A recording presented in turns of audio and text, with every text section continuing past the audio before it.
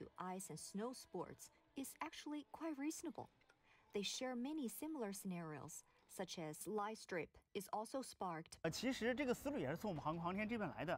the landing trajectory of an aircraft is actually optimized.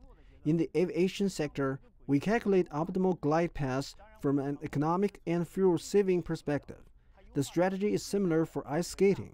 Given the limitation of an athlete's capabilities and stamina, we optimize the best strategy for match speeds. Selection of trajectories or how wing drag affects movements and speed.